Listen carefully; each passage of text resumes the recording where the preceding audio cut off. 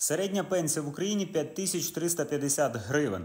Причому є карта по регіонам. Скільки там? Ну зрозуміло, що найбільша середня пенсія в Києві 7219 гривень. Ну і далі, далі, далі по регіонам.